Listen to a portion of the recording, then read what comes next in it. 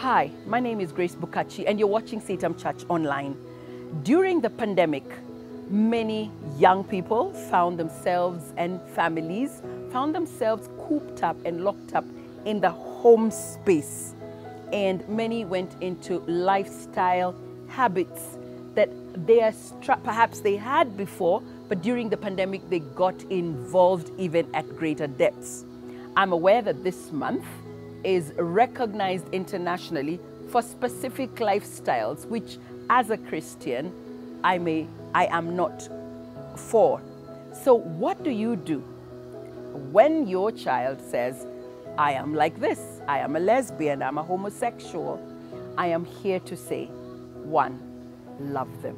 I know as Africans, our first reaction, remember that word reaction, is to know, condemn, hate that child. But from a Christ perspective, a Christian perspective, what would Jesus do when a child or you as a parent are dealing with a child who is, is in those lifestyles or is even addicted to one form of substance abuse or the other?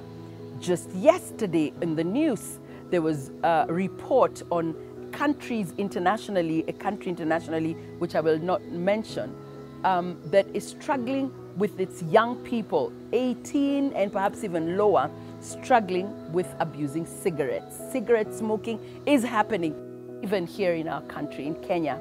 And coupled that with lifestyles, it looks like it's the in thing.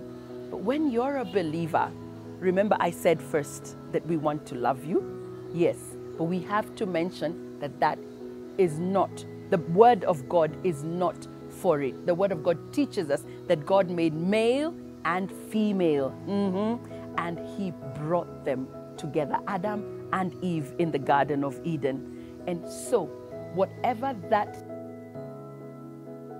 held you captive is, I want to tell you that God can free you. Yes, God is able to deliver you when you entrust your life to Him.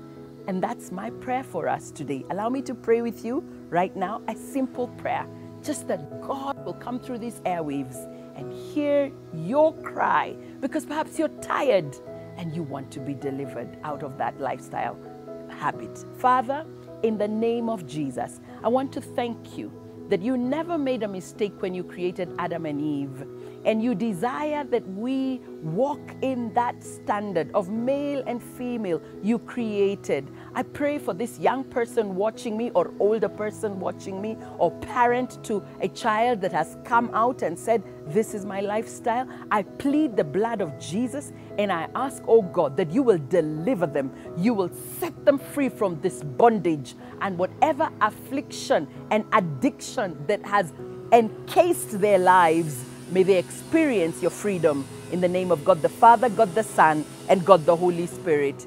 Amen and amen. God bless you. I look forward to hearing from you here on CITAM Church Online.